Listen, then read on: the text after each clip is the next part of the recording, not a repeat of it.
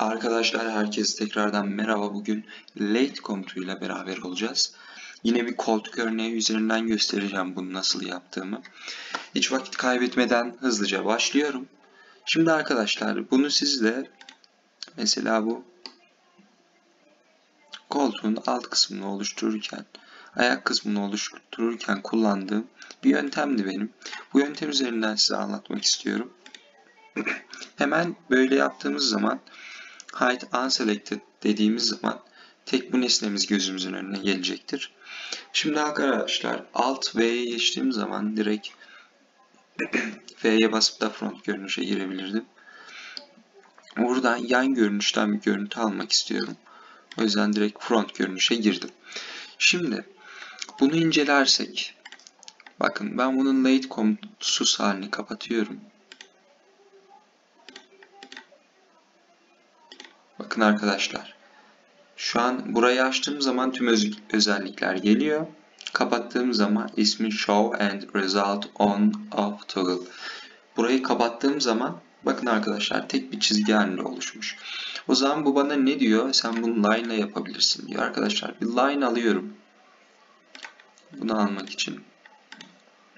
Şimdi ben nasıl bir İlk önce yapacağım şeyin kesti lazım. Aslında bu kesitten çıkıyor bunun şekli. Genel olarak late komutunu tanımlarsam. Şimdi arkadaşlar ben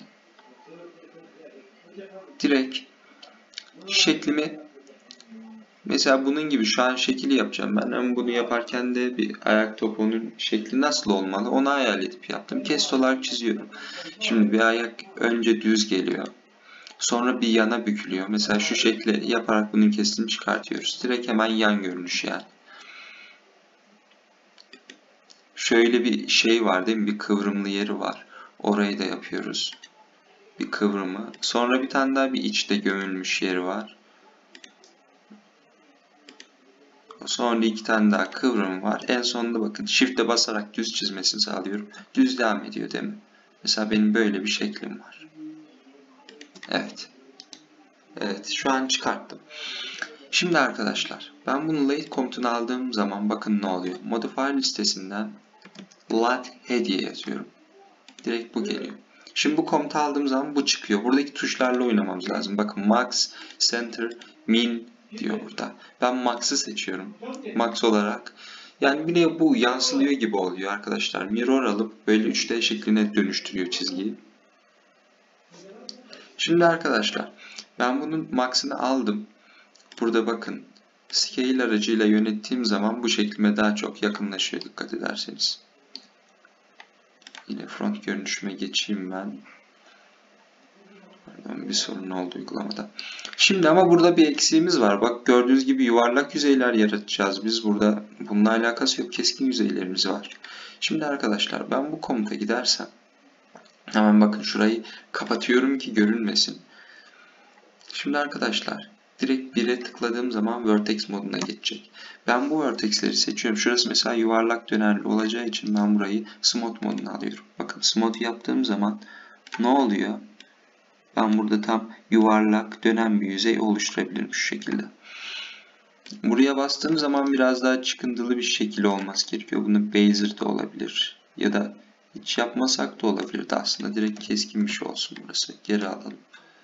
Keskin buna yakışıyor. Buralarda ise arkadaşlar ne var? Bezier mesela. Buralarda kullanabilirim ben. Burası keskin. Şu modda. Bezier ve Smooth arasında. Bunu deneyerek yapacaksınız tabi. Oluşum aşamalarını göreceksiniz. Ee, şu Age'imde ben Evet zaten bu Bezier'da Şöyle bir şey oluyor. Bununla Bezier yapacağım. Belki şuradan şöyle formda gelsin diyorum. Şu çizgimi biraz daha yukarı kaldırmak istiyorum. Evet. Bunu da biraz da aşağı indirmek istiyorum. Gerçi ikisini birlikte 2 CTRL'ye basarak seçebilirim tıklayarak. Şimdi bakayım formun nasıl oldu. Bakın biraz daha iyi oldu gibi sanki biraz daha yani şekle yaklaşmış bir form oldu. İstersem şu, şu şeyi de alabilirim. Çizgileri de bu tarafa şey yaparak boyutunu küçültebilirim. Aynı şekilde şunları almak istiyorum. Biraz da aşağıda daha güzel olur gibi. Bakın böylece tam olmuş late komutun uygulanmış şekilde başa çıkabilirim. Bunu biraz şuradan inceltebilirim. Oynuyorum yani bildiğiniz arkadaşlar. İstediğim gibi.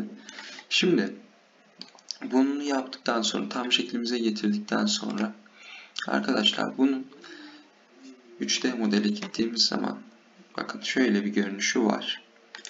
Peki ben bunu daha pürüzsüz hale getirmek için ne yapabilirim? Ne uygulayabilirim? Onu yapmak istiyorum. Ama ilk önce bakarsanız bir bombeli gibi bir şekil duruyor burada. Bunu nasıl düzeltebilirim? Hemen bakın arkadaşlar. Bu nesnemi seçip ben late modunda X, Y ve Z eksenlerinde bükme fırsatım var. Ben kendime göre bu şekli bükebilirim. Bakın biraz daha yuvarlak oldu. Y eksenini biraz daha kabartmam gerekiyor. Bu şekilde ben oynayıp şekliyle değişiklikler yapabilirim. Gördüğünüz gibi. Evet. Şimdi hatta şuradan biraz daha büyütebiliriz. Yine ejderle de oynayabilirim olmazsa dediğim gibi. Ben bunun formunu daha pürüzsüz hale getirmek için arkadaşlar Turbo Smooth uyguluyorum. Bakın benim direkt hazır Turbo Smooth objem burada var. Ben bunu nasıl buraya getirdim? Onu videonun sonunda anlatacağım size. Bakın arkadaş şu şekilde daha pürüzsüz hale gelmiş oldu bu obje. Biraz üstten küçültürsek. Yine gidip düzeltme yapabilirim buralarda tabii ki. Fazla bir alterasyon olmuş. Buradan objemi yine küçültüp oynayabilirim tabii ki. Şu an bakıyorum. Nasıl olduğuna dair. Şuradan birazcık da ayarlama yapmam gerekiyor gibi içine girmesi için. Buradan biraz daha boyunu kısaltmam gerekiyor gibi. Evet. Bu nesnemizden biraz daha farklı oldu. Bunu şekli dediğimiz gibi vertex düzenlemelerimiz ayarlayacak. Mesela bu şekilde bir ben model oluşturdum. Biraz x ekseninde kayması gerekiyor. Late aslında bu işe yarıyor. Genelde koltuk ayakları falan oluşturmada kullanılan model budur.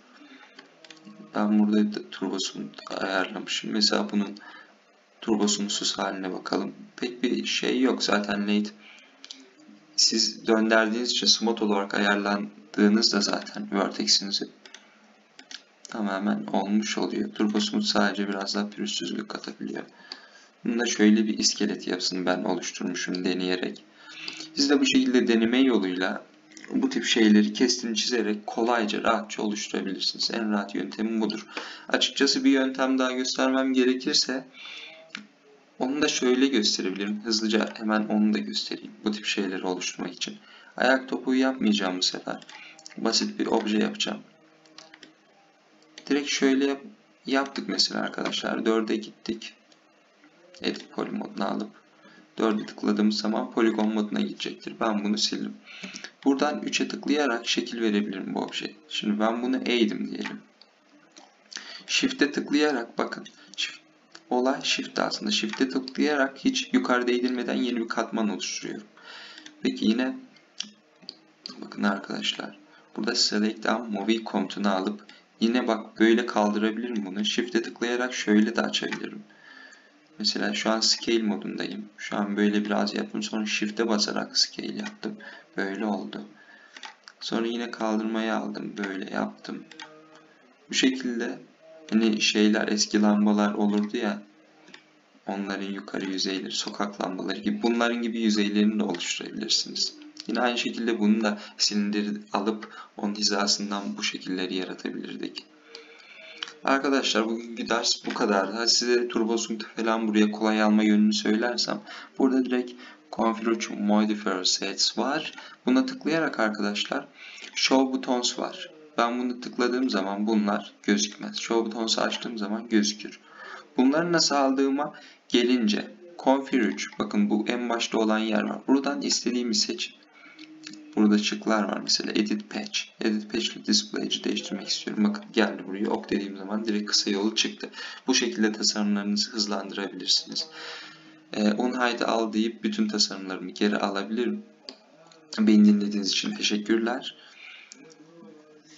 Hangi konuda video çekmemi istiyorsanız yorumlarda belirtebilirsiniz. yorum yapmayı ve yeni videolardan haberdar olmak için abone olmayı unutmayın. İyi günler.